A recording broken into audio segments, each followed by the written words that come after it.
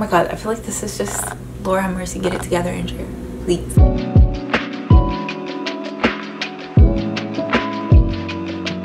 Hello lovely people, welcome back to my channel. It's your girl Andrea with the curls and yes, she's on YouTube again. I know it's been a minute. Welcome for all the people who are new and thank you guys if you're returning. So today it's a bit of a different video. It's a chit chat video. Who is she? And I don't know, I decided I want to do more chit chat sit down so you guys can get to know me a little bit more and just you know vibe out. So please stay tuned for this chit chat and then you can also see how I get this cute little hairstyle because I talk about that as well. So let's get started. Something's new, right?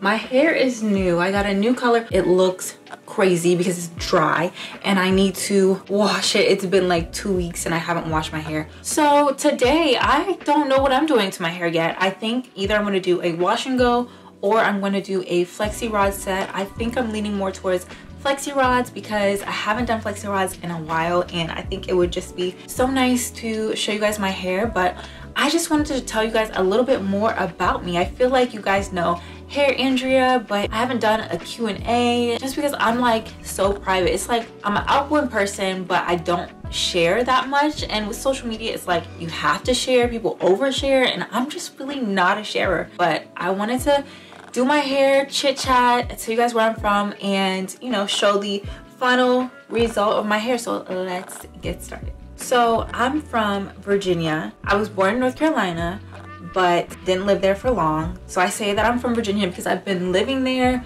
for like 20 years at this point. But now I live in Texas. But yeah, my dad was a military brat and he was just moving all around. Shout out to the, the military brats. I have two sisters. So I have a younger sister. She is 22. Wow.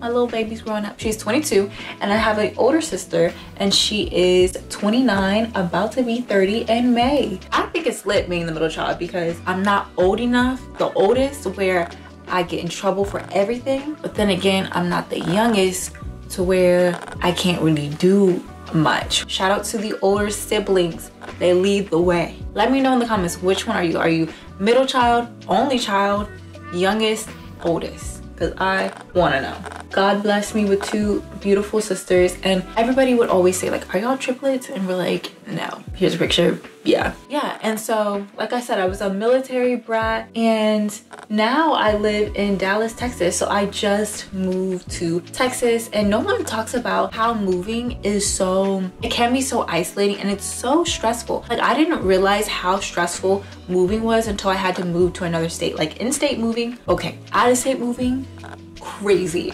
Like I almost had a heart attack. And I drove 15 hours from Virginia to Texas, to Dallas, Texas. Usually when I like drive for a long time, I like fall asleep. But because I was following my little sister and my dad, so my dad was driving the U-Haul and that my dad and my mom were in the same U-Haul. Fun fact, my parents are still together. They've been together for 32 years. Ain't that something? Round of applause. So I was behind people so I didn't fall asleep because when I tell you I be getting sleepy four hours, I can't do it. Like I really can't do it. Been living in Dallas for a month now, a month and a half and I like it. I live kind of in the country, but when I move, I'm gonna move to the city. I love me some DC. If my parents didn't move to Dallas and they stayed in Virginia, I would for sure move to DC. But my parents moved, my sister moved, so I'm like, nothing's tying me to DC. All my friends are out and about, you know, everywhere else. So it's like, why stay? And I was in Roanoke, Virginia for a while and it was the country. I was in nursing school. So we'll get into that, you know, nursing school and now dropping out and being a, a full-time influencer tea i gotta spill and i'll spill that later but yeah i was in the country so i was just like yeah i want to move somewhere else and the option was either i was thinking about i had three options DC, Dallas, Charlotte. I could just live in Dallas and I, all my family, they live in Dallas. I kind of wish I had that like family dynamic where I could, you know, see my cousins and everything like that. But that wasn't available because all my family lived in Dallas and just my mom, dad, sisters lived in Virginia. So I wanted to move to Dallas because I wanted to get closer with family and my grandma passed away. So I was like, it's time to be with family and be closer to family. So, so far, like, I love it. I love living close to my cousins. It's been great. I'm definitely thinking about in the future living in DC or living in Charlotte. I don't know if Texas is the best place to raise kids. Let me do my hair. Let me stop talking. I, I love to talk and not do anything else. Like I need to be multitasking, honey. All right, so I ended up deciding to do the flexi rods. I'm trying not to use that many. So I'm using one flexi rod, bending it so it's two sections, which I usually always do. And instead of wrapping around flat, I'm twirling it around or twisting it around. And I'm using some leave-in conditioner, my favorite go-to hair product. For twist outs, I don't even use cream, like curl defining cream. I just use straight shea butter. And shea butter has been my go-to. I always use Alikay Naturals shea butter because it just is the best. Like you rubbing it around your hands, it just melts it. It keeps my hair moisturized really the whole week. I just use shea butter and it's been like the holy grail. Like I usually do not have to use gel with it and it dries pretty quick quickly. Like it dries within like, I don't even have to sit underneath a hooded dryer. That's how like nice it is. Okay, so this is what I'm doing. Twisting the top taking my hair and just simply wrapping it around. I would caution you though, with doing this method, it can be hard to take out if you don't do it the right way. I personally make sure that I can twist these out. Like this one, I can't twist it out because it's not going the same way. So maybe I will actually take it off and then actually twist it the right way. You'll be able, yeah, to take it down, yeah. Just like that. Don't be like me, twist the right way. A couple more to go. Oh, and so when I do my wash and goes, like I said, I don't use any cream, not even when I do my twist outs. I literally just use foam. And my favorite foam, my go-to foam, is the DOUX. That is my absolute favorite. The original one, they have two now. The original one slaps every time. Sorry, that is my dog and he is just going to town with that damn toy. My favorite leave-in conditioner I would say is Kinky Curly. That is my favorite, hands down, leave-in conditioner because it's just so like it just goes on, it glides on so well. No flaking, nothing. Sometimes I also like the Blueberry Bliss leave-in conditioner, but sometimes with that one, if you use too much, it like leaves white flakes.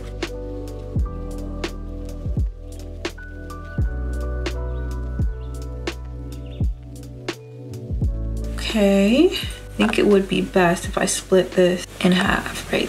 just like they and then did two and two in that section. Nursing school, like I said, was hard and I like medicine. So it wasn't bad because I was, you know, studying medicine. I've been studying medicine since like high school, my freshman year in high school. So I was used to it. I think the problem for me was I couldn't do what I like to do. I was so tired from the busy work. I didn't even want to film content. And that's the problem for me. It's like when I feel like my life is wasting away, I like to change that. I wanted to change it. And so for me, I felt the best thing to do was to leave nursing school. I was in nursing school for two semesters and I decided, you know what? My heart isn't 1000% in it. And when you're in nursing school, you gotta be a thousand percent in. You have to have faith because if you don't have any faith, you will not pass or you would not finish nursing school. And I just felt like I didn't have any faith whatsoever. So then I decided to leave nursing school. I'm glad I did because all in all, I think I would have regretted it if I stayed in nursing school. There's other reasons why I left nursing school. I also didn't, wasn't really a, too much of a fan of the healthcare system. I don't like how they give nurses seven patients, but I digress. Yeah, so being a full-time content creator, I've been full-time for a year now and it's been good. Like I have enjoyed it a lot. The only thing I don't like is kind of the up and down of payment, but I've saved enough to where it doesn't affect me if I don't go like a month or two without payment. When I first started, it was like I was barely making anything, but now I've been doing it for three years, so I make you know, a good amount of money. Last year I made like $80,000 a year, which is really good, you know, but subtract taxes. Yeah, I've been able to be financially stable and doing something that I love to do and I create my own schedule. So I would say like if you have a dream, go for it and it was kind of a shock telling my parents because they were so adamant about me being a nurse because I've been saying like oh I want to be in the healthcare field for years but once you get over that hump and conquer your fears like you can do anything you would like to do but I can go more into depth about me being a content creator like the pros and cons if that's something y'all are interested in hearing about, but I've been able to travel. So I've been able to go to different events and mingle with different people and I love it. It's bringing me closer to my dream and I eventually want to start my own hair company. So I hope you guys will be on that journey with me like eventually in the next year or two.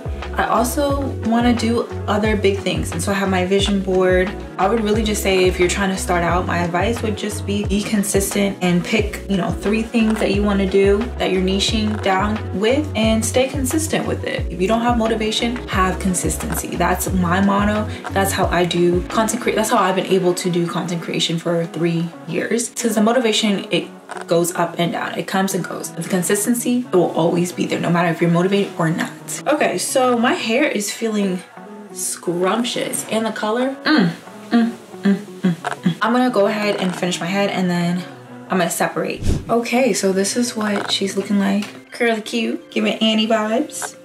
Very cute. Okay, so let's go ahead and separate. Like I said, I'm gonna keep doing what I did before, applying some oil, and I'm gonna separate just like that.